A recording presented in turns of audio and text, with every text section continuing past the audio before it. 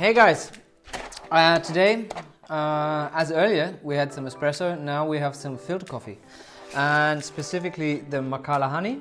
Um, as you can guess, Marcala is a growing region in Honduras, and honey stands. Uh, what should be else? The process it's made. Uh, so, Marcala honey, what's it about? A really nice, clean filter, uh, very actually quite typical Honduran uh, profile.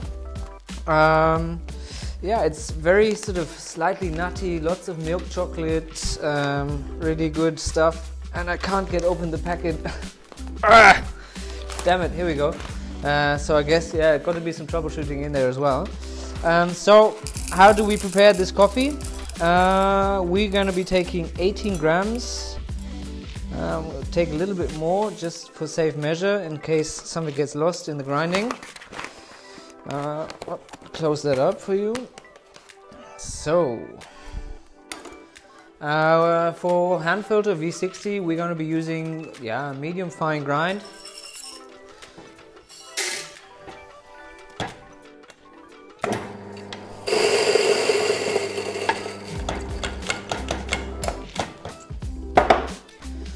In case you don't have a setup like this at home with Slurp, you can also order your coffee pre-ground uh, for French press or hand filter, uh, whatever takes you fancy. So,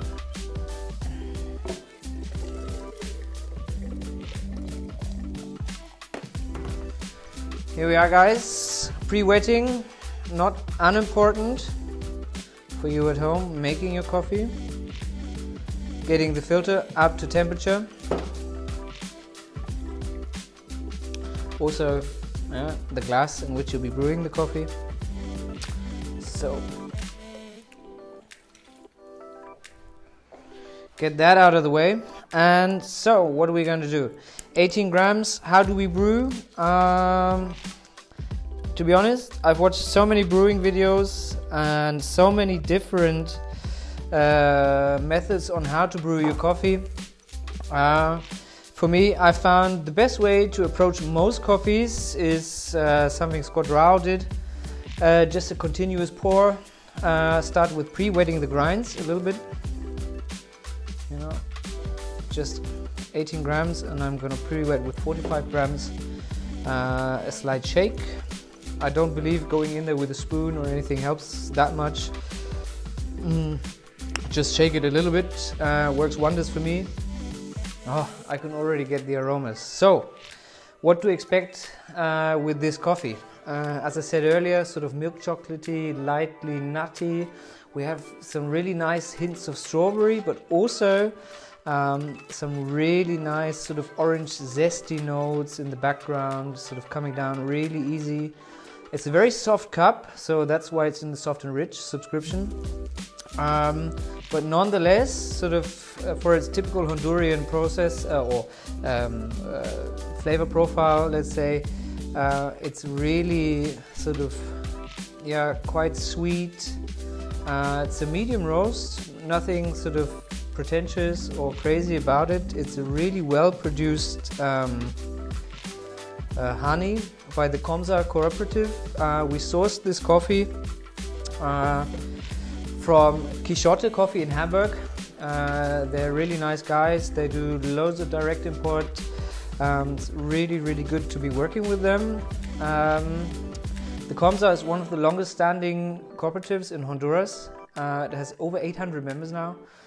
Uh, it's actually uh, they're organically certified. Uh, this coffee is as well. We aren't, so I guess I can't call it organic. Uh, but hey, we take that with a pinch of salt.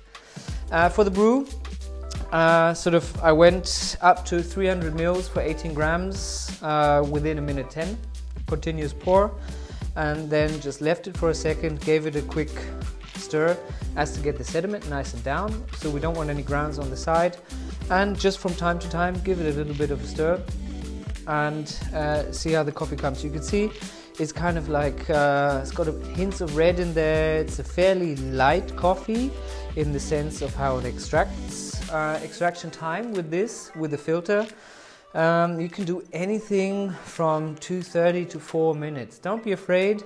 uh, to go a little bit finer with the coffee, uh, just to make it that little bit more sweet. Uh, I find that actually really enjoyable. Um, so I can, while we wait, preheat these cups as well. In general, as we roast on a Loring, uh, I said in the other video before, uh, we sort of get really much cleaner profiles flavor wise than you might get uh, with a classic drum roaster. Not saying that one or the other is better. We've just decided that for our coffees and our style of roasting, uh, the Loring actually works best. So let's see how this one turned out. It's a really fresh roast. So, you know, we're here sort of from the roast. Um, yeah, sort of coffee should be ready now. Yeah, last drips coming out. 323. I think it's a good time. Not too quick of an extraction. So let's see what we have. Uh, just one for you, one for me. So Marcala honey. Really nice, soft and rich filter coffee. Uh, the aroma is really nice, it's really subtle. We've got a little bit some grapey notes, sort of milk chocolate, hazelnuts. Uh, you can also do this really well in the French press. I find in the French press you get uh, more nuts. And with this, mm, still a bit hot. Ah, yeah, but it's nice. Very typical Honduran flavor profile.